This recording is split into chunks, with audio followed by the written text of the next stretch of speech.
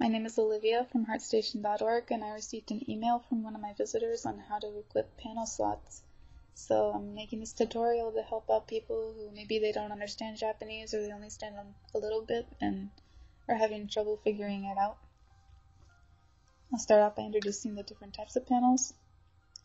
You have items, level ups and backpacks, magic, abilities, keyblades, accessories, synthesizable panels like moonstones and recipes and those sort of things. They can't be equipped, so you're not going to worry about them when equipping your grid. I like to start out with level panels, since there's going to be the most of them used, and they can come in strange shapes, like this. The level 2 plus panels will increase your level up panel times 2. So normally you equip one, your level only goes up 1, but if you link it to a level 2 panel, it becomes an a plus 2. So instead of going up 1, you go up 2. And like I said, they come in strange shapes. So since your grid is going to be built around them, you want to place them in the best spots. I'm going to move it down here. And then equip all my level ups into it since they double up.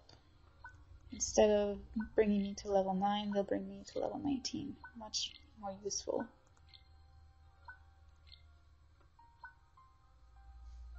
Next I like to equip my Keyblade.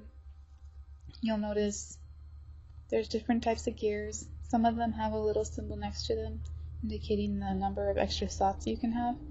Like this is a skill gear on its own will equip a certain type of Keyblade, but you can't add anything to it or increase the stats of it. So you're not going to use it.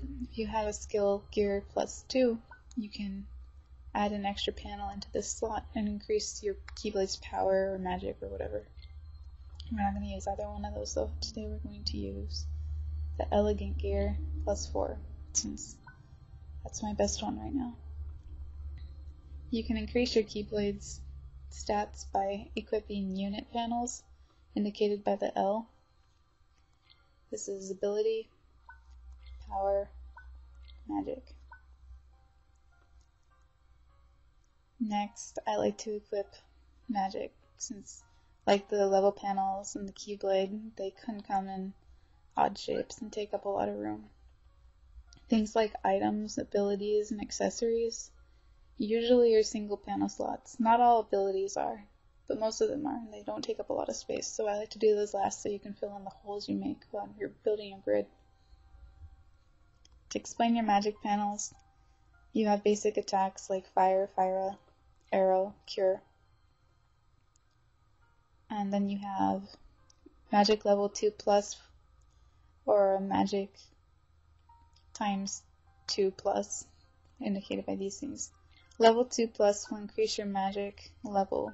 So instead of doing a, a regular cure attack, your cure is increased, you heal more, it's much better. Same with other attacks like fire, fire, uh, aero. Things like this one, where it doesn't say level 2, indicates multiply. So I have a 3 times panel and I slip in a fire panel, it'll increase my number of fire attacks, but it won't increase the level. So I can cast fire 3 times with this panel, but it will be it'll be weak, it won't be a level up panel like the ones that say level 2 on them. So I'm not going to use those. Next, I'm going to equip my accessory we're going to use a fencer ring.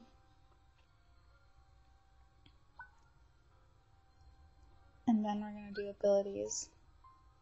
I like to equip as much as I can as long as I have room, so do reflect guard. Not all of them are single panel slots like reflect guard. Will be indicated right here. And you'll know you'll be able to add panels if they have an L by them. L panels can't equip on their own. They're only like additives. They'll only add to something that has room for extra slots. So they reflect guard with a guard up, guard up, go together. But if I had like air slide and tried to equip a guard up into it, it won't work. But an air up will. So we're gonna go ahead and do that. Actually, I'm gonna move it over here. And then I have room to fill in my extra abilities. I don't want to pick a dodge roll. Slide rush, Doro, and Ribola.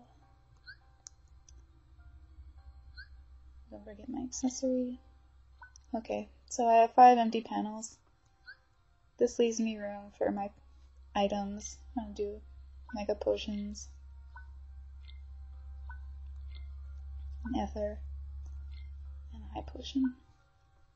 And there you have it. I find that you doing level panels first helps get your grid going because it takes up the most space and you can build around it. And um, makes it easier. So your grid's not messy. You know where everything is. After each mission you usually gain an extra slot. So i rebuild my grid after every mission plus you get new panels and you want to try them out or it's the best way to experiment I hope that you've enjoyed the tutorial. If you have any more questions, feel free to email me or visit my blog at heartstation.org. It's just one word. You can check it out for the latest news. And if you have any questions and translations, anything like that, please feel free to email me. Thank you for watching.